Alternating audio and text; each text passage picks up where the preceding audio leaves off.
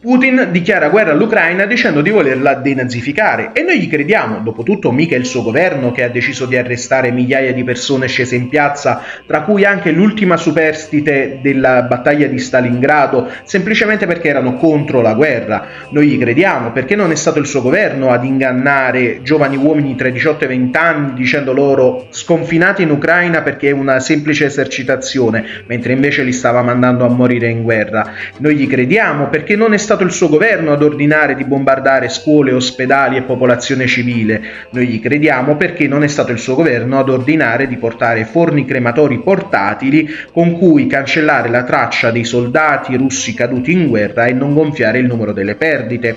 Noi ti crediamo, caro Putin, ma secondo me se vuoi denazificare il mondo dovresti utilizzare il metodo Eva Adolfo.